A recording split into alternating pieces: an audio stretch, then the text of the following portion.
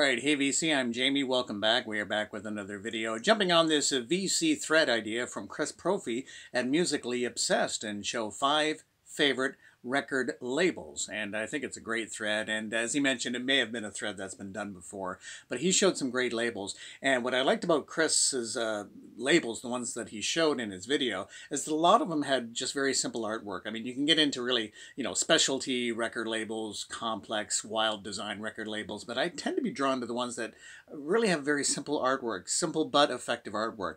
And so when he showed his, I thought, well, eh, there's one record label that comes to mind, a Canadian label, and I thought, well, let's show five Canadian record labels, maybe ones that you don't get to see too, too often. So the one that came to mind first off is the record label for Bruce Cockburn, for uh, Murray McLaughlin, and uh, we're talking about True North uh, Records. And I just love the simplicity of this label and just the True North with the arrow pointing north. And just, I think it's just a great, great record label, True North Records. And Bruce Cockburn, Murray McLaughlin on that label. Now, a great record label, uh, and it's interesting, sometimes record labels go through changes. They kind of modify the design and change it up a little, sometimes not for the better. Uh, Aquarius, this was uh, April Wine's uh, label. Here's the early uh, Aquarius uh, record label, which is pretty cool. Like it's it's got kind of a really nice, nice, very interesting design, the Aquarius record label.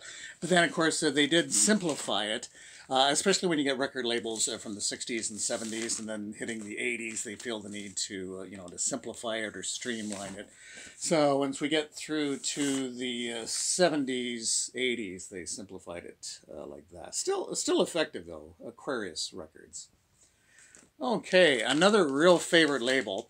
Uh, on this label, you'd find artists like uh, Lee Aaron, uh, the Nylons, and it is the label Attic Records. Uh, Attic Records. And uh, yeah, just a great label. Uh, they also were a label for distributing international artists, such as, on this example, the Electric Terrors with Wayne County. But I always thought that was kind of just effective in terms of Attic, Attic Records, nice design. But even then, they did change that over the years on this uh, Lee Aaron uh, album.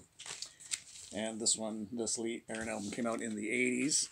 Uh, they felt the need to change it, and I don't think quite as effective. They kind of oversimplified it, uh, in my opinion, for Attic uh, Records. I like the original Attic label.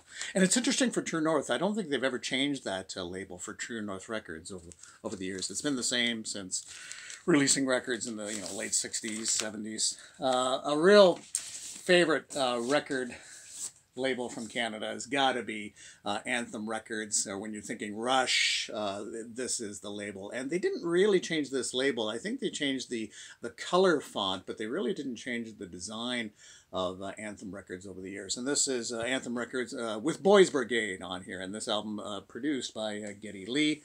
And just one more, a sort of, you know, it's a real 70s sentimental favorite for the album, or for the record label GRT uh, which uh, released Lighthouse Records. GRT, GRT was also a big distributor of international artists uh, for Canada. But I just think it's it's a simple label, and when you see that label GRT, you know you're being you're going to get ready for some great 70s 70s rock, uh, if you will. The uh, GRT label from Canada.